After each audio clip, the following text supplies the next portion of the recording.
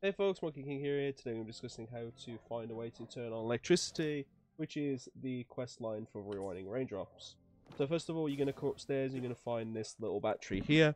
You're going to use that after discussing with these few people to go over to the left side here, which allows you to throw that battery into there, and then take out that battery that was originally in there, and throw that into here like so.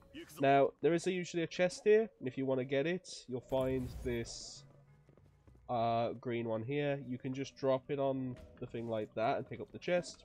But with that out of the way, we're now going to discuss how to get this. So as you can see here, this green red, if we throw this into there, as you can see, it turns it from green to red.